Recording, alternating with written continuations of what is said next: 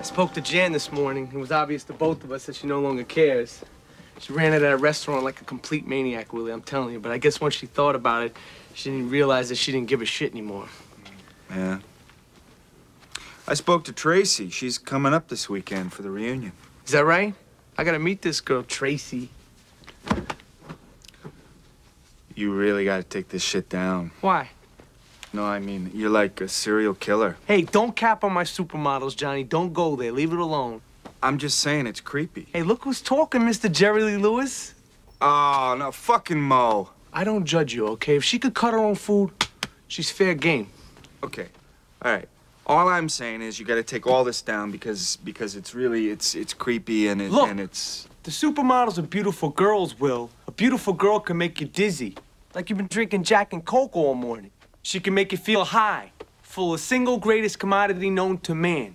Promise. The promise of a better day. The promise of a greater hope. Promise of a new tomorrow. This particular ore can be found in the gait of a beautiful girl, in her smile and in her soul, in the way she makes every rotten little thing about life seem like it's gonna be okay. The supermodels, Willie? That's all they are. Bottled promise. Scenes from a brand new day. Hope dancing in stiletto heels. I am now going to check your freezer for human heads. A beautiful girl is all powerful. And that is as good as love. That's as good as love.